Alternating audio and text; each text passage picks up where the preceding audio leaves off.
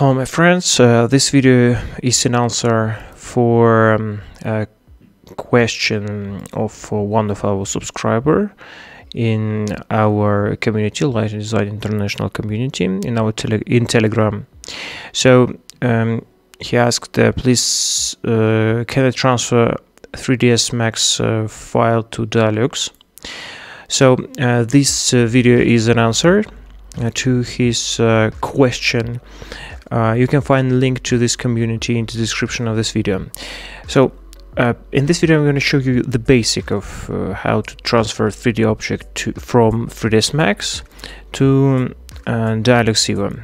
Uh, this is an example of uh, one of my project which I'm currently working on.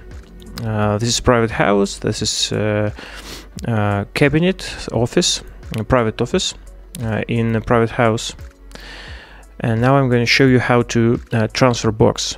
Okay uh, so this is 3d max and if I make here a box so I can transfer this object to uh, Dialux Evo or I can download some 3D models from uh, internet um, in 3D Max format and then I can transfer it to Dialux Evo but there are some uh, details. Uh, let's uh, look through some details.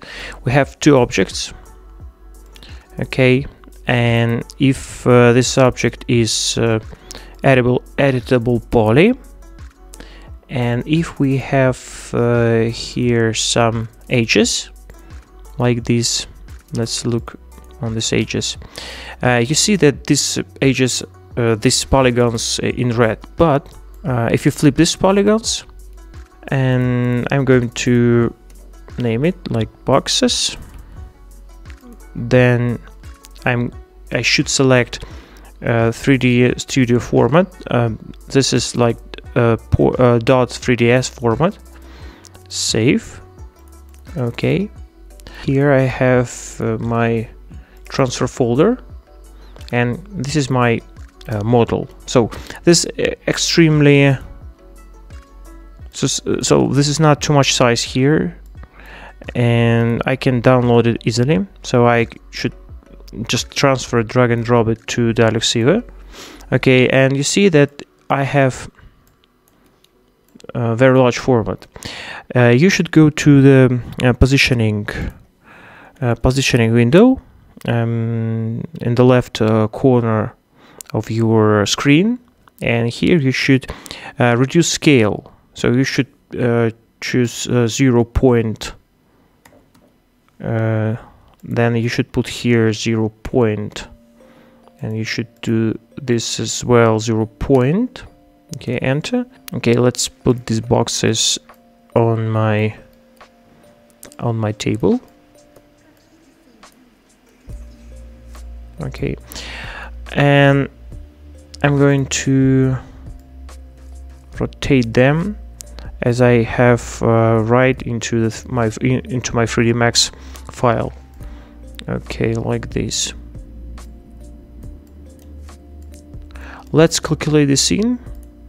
Okay, our calculation is done, and what we see here, it's uh, extremely interesting that uh, you see that orientation of our polygons, that polygons um, which we orientated in the, another direction, we don't see in Dialux Evo.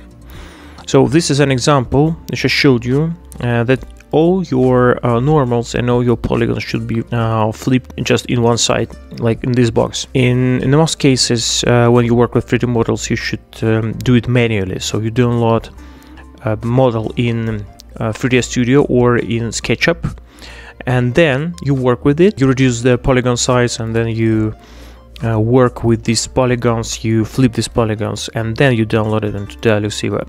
So, but you can work with large scale or low scale models uh, in this way.